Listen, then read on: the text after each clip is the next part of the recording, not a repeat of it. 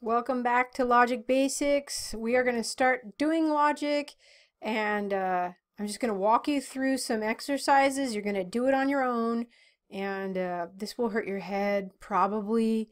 You'll start to get used to it and just just roll with it is what I'm going to suggest. Just roll with it and I'm going to be pro uh, projecting from my iPad. This is a, a little bit new for me. So uh, this is another thing we're going to have to roll with. What I've done here is um, we're doing judgments and this is putting statements into logical form. So we're going to be learning logical form today and uh, logical form involves a subject term. So I've put subject S, copula C, and predicate P. Now we learned about the categorical uh, propositions A, E, I, and O. All S is P, no S is P, some S is P, some S is not P. We're not going to quite do that yet. First, we're going to just learn how to identify a subject term, a copula, and a predicate term. And sometimes a sentence or a, uh, a proposition doesn't have the copula. So this uh, list of sentences down here are um, taken from the Raymond McCall book. They're just photocopied from that book, and, and it's not as pretty as it could be, but we're going to roll with it.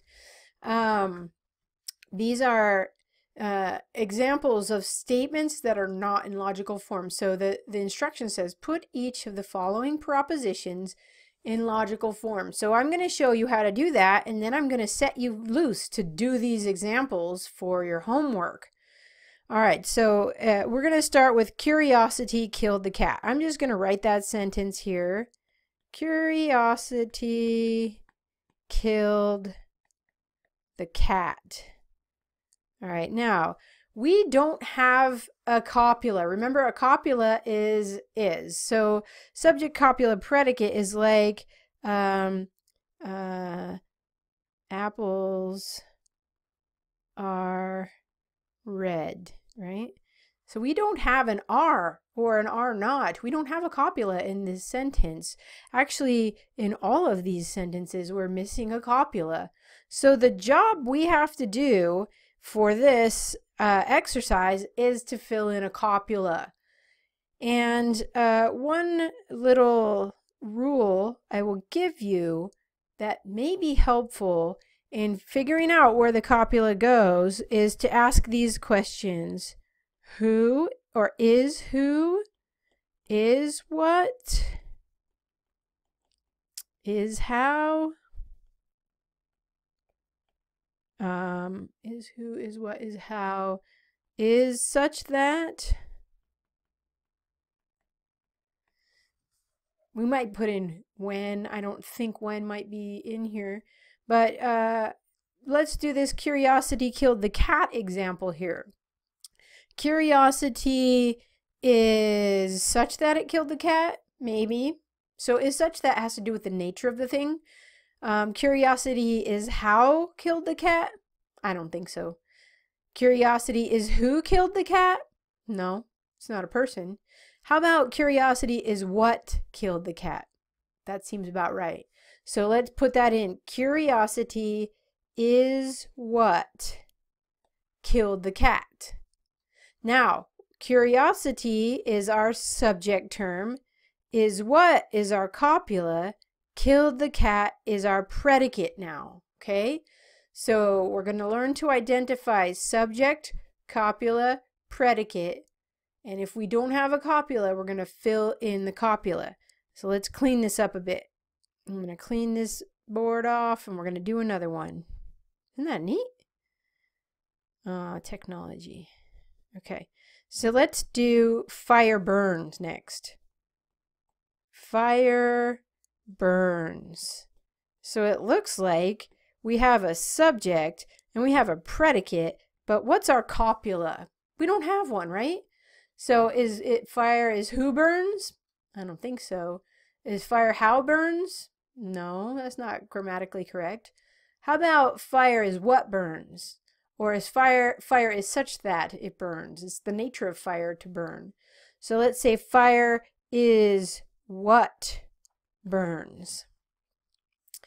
All right, so Now, you have a list here of other statements, propositions that don't have a copula. I would like you to do the same thing that I did and fill them in. Now there are some difficult ones. Let's let's look at these. Who pays the piper calls the tune? You have to ask is this talking about a person, a place, a thing? Ordinary caution would have prevented the disaster. Hmm. Is what? Is how? Each man kills the thing he loves. So I'm going to leave this open for you to fill in the copula. Um, ask yourself, is what? Is who? Is how?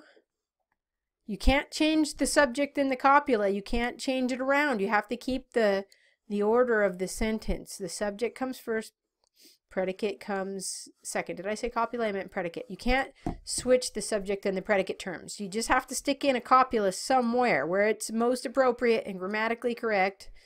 Now, the one that's going to be the hardest is this one. I'm just going to predict this one's the hardest. So you have to ask, whose hope is this? That'll give you a clue. Whose hope? Um, I guess you could also ask, is where is when to make it more full. You might have other examples in the future where you have to ask those questions. All right, so I'm going to set you free to work on this list of um, this list of examples. I want you to put them into logical form, meaning put a copula in there. The next uh, exercise is going to build on this. In the next exercise, we're going to identify subject, copula, predicate, and quantifier. And the quantifier is what tells us how many um, A, E, I, or O statements. So I'm going to pause here and let you work on these. Uh, I may or may not give you the answers. Maybe I'm not going to give you the answers. I want you to work them out and make mistakes. You can email me and uh, I'll give you the answer over email. How about that? All right.